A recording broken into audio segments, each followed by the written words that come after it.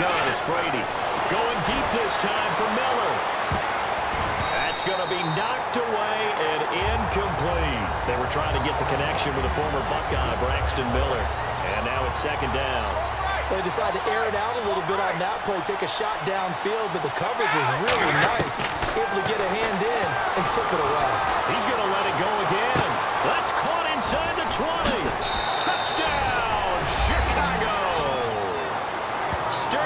Shepard, 64 yards. And his guys are an extra point away from tying this thing up.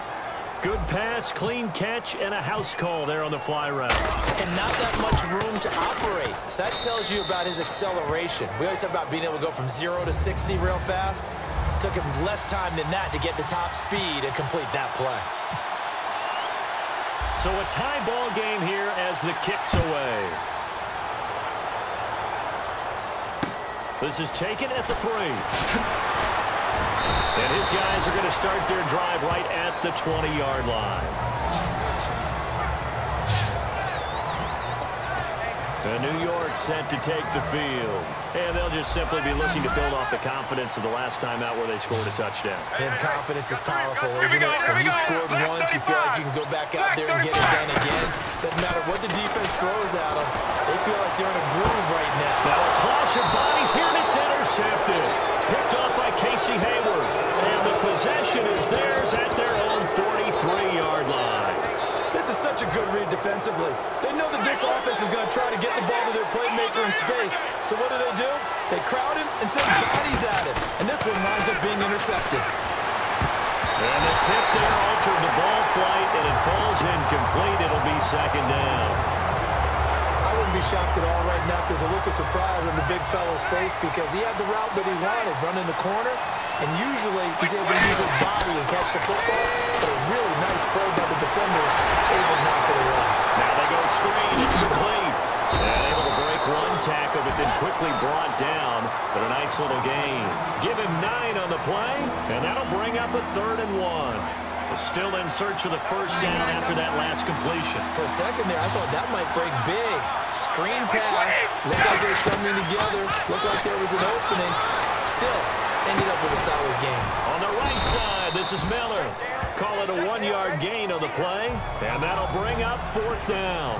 They didn't get the first down, but I have to say I do like the call. I like what they were trying to do. Try and hit your receiver on the run and see if he can pick it up keep it on his feet, get a little rack yardage. Yeah, but a nice job defensively to get to him and keep him short of the first. Back now here at MetLife Stadium. All even as we get ready to start the fourth. Tie game, fourth quarter, and they're going for this thing on fourth down.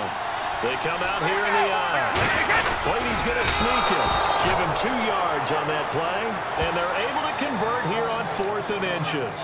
And this is a spot where you have your offense stay out there to get those few inches. It's too long for a field goal. It's not worth punting. So this is the right decision as far as I'm concerned. And they wind up picking up the first down. Play clock winding down.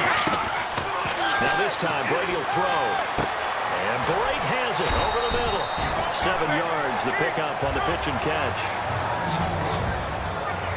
Now that's staying ahead of the chains.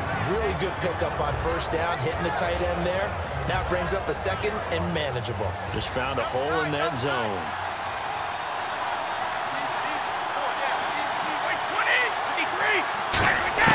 Now Brady throwing on second down. Complete to the right side. It's Eifert. And this time not quite to the 30. It'll be down at the 31-yard line.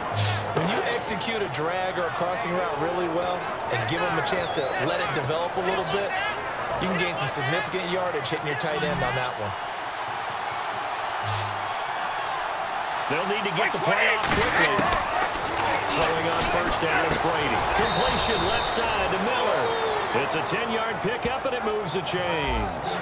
And a nice pitch and catch to pick up the reception against man coverage. Both of them read how much yardage they needed figured what they had to do and were able to beat the man coverage for the completion.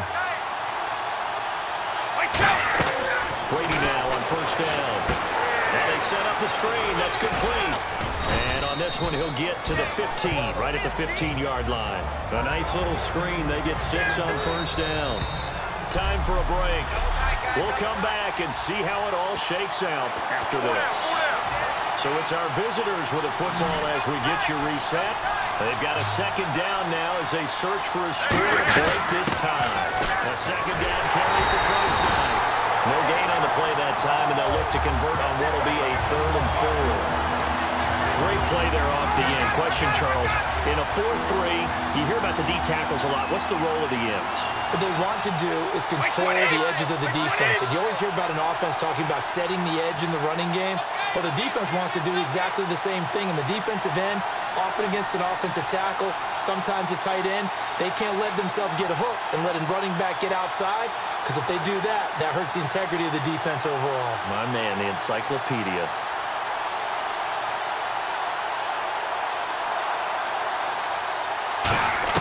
Now Brady. It's caught. Shepard. Now the Giants will stop play as they take a timeout defensively. It's just their first. They've got two more to use here in the final stages. Oh, long drive. The defense just cannot seem to catch a break and get off the field.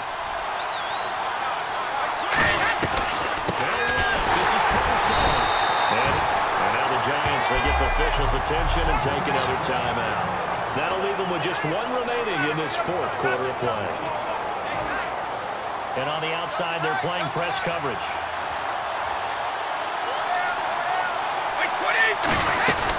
Again, they run against Parsons. And he'll get it down close to the goal line, but not quite in. Now, hang on here. Timeout called. Timeout called by the defense. It'll be their third and final timeout, so as they talk things over, we'll step aside. They're knocking on the door as they come to the line here on third and goal from the one. On third and goal, sides. And this will result in him losing yardage back to the three. He lost two, and it brings up fourth. So now one of the biggest kicks of the night is forthcoming. This to take the lead here in the final minute.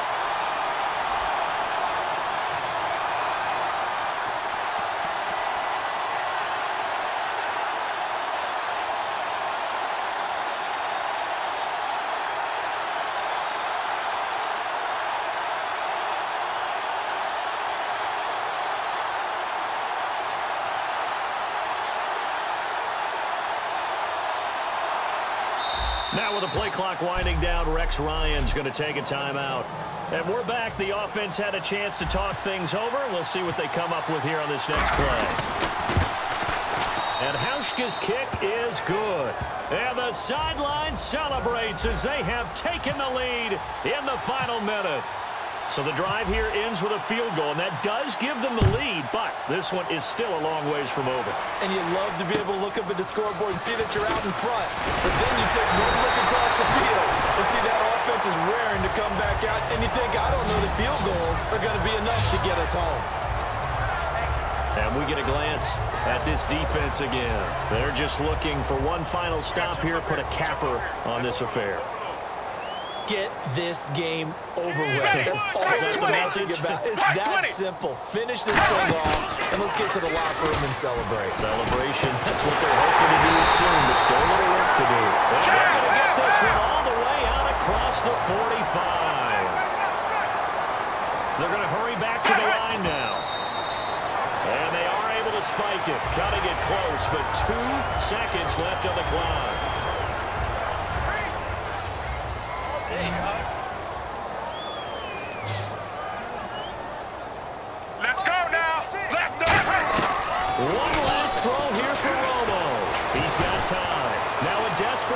Throw deep downfield. And that is going to be incomplete.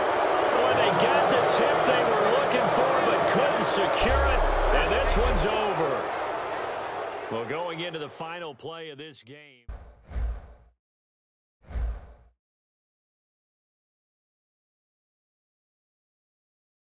Don't forget to like and subscribe for more videos. Follow me on social media. And once again, thanks for watching.